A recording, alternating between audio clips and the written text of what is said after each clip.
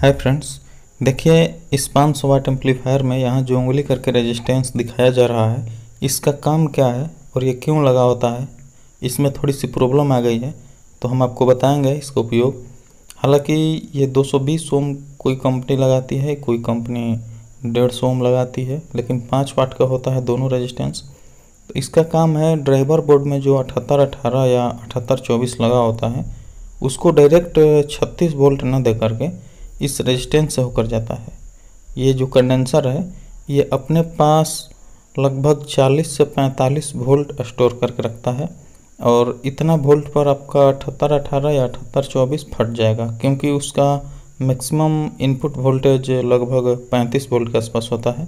इसमें बेल के सैंतीस तिहत्तर वी फाइव आप देख सकते हैं, जो कि ओरिजिनल है। हालाँकि अब तो बावन मिलने लगा है। दोस्तों, कभी भी पाँच सौ का एम्पलीफायर लीजिए तो सैंतीस तिहत्तर ही लीजिए, क्योंकि बावन सौ इसके मुकाबले लगभग बहुत ही कमज़ोर आता है। जितना दमदार और आउटपुट ये निकलेगा, उतना दमदार आउटपुट बावन सौ का नहीं होता है।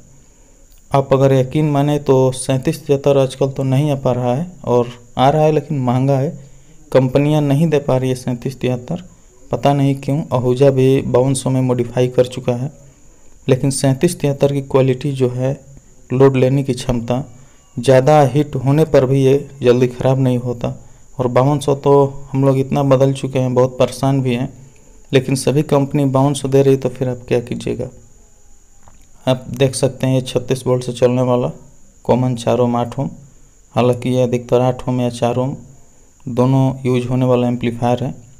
और आजकल के जो आ रहे हैं बावन सौ एम्पलीफायर जो बोलते हैं, उसमें तो इंटरनल ओम मैचिंग होता है आप लोड के हिसाब से उसको मैच कर सकते हैं, टू ओम या फोर ओम, और इसमें अपने मन से कर सकते हैं, लोड के हिसाब से।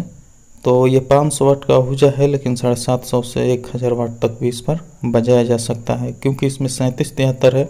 डेढ़ सौ डिग्री तक हीट होने पर भी ये बिल्कुल आराम से बजाता है, कोई फ़र्क नहीं पड़ता। एक चेंज और की है, कंपनी इसमें ट्रोडल ट्रांसफार्मर जो दी है मेन, पहले ई आई कोर में आया करता था। हालाँकि ठीक है, ये ट्रांसफार्मर में कोई दिक्कत नहीं है। हाँ यहाँ कंडेंसर जो लगा है, तिरसठ वोल्ट पंद्रह हज़ार माइक्रोफ्राइड के दो पीस यहाँ केल्ट्रॉन के बड़े साइज़ में जो नॉट वोल्ट से कसने वाले होते हैं, उसको देना चाहिए था। बाकी ट्रांसफार्मर ईआई से अच्छा माना जाता है ट्रोडल ट्रांसफार्मर को। तो मैं आशा करता हूँ कि आप इस क्वालिटी को पहचान कर अपनी एम्पलीफायर का चुनाव करें, क्योंकि आजकल बाउंस आ रहा है और उसमें भी लोकल मिल रहा है। तो इसको देखिए और देखने के बाद ही आप अपना डिसीज़न लीजिए। तो इसमें और कोई प्रॉब्लम नहीं है, बस यही दिखाना था रेजिस्टेंस की